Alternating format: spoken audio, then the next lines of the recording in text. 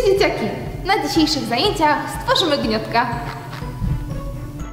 Do przygotowania naszego gniotka potrzebne nam będą balony, łyżeczka, marker, kolorowe druciki bądź włóczka oraz skrobia ziemniaczana. Na samym początku musimy rozciągnąć nasz balonik, dlatego nadmuchujemy go i spuszczamy z niego powietrze. Krokiem jest napełnienie skrobia naszego balona.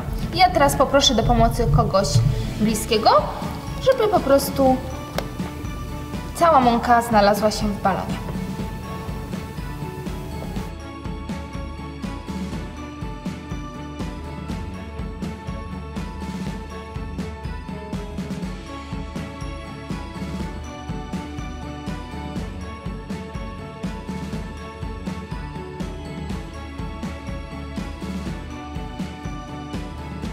Gdy cały nasz balon jest już napełniony skrobą ziemniaczaną, a nasza powierzchnia jest już czysta, związujemy go porządnie,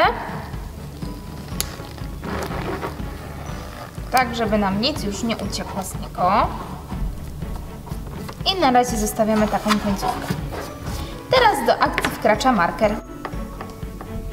Gdy buzia jest już gotowa, obcinamy troszkę górę zabieramy nasze druciki bądź włóczkę i tworzymy włosy naszemu gniotkowi.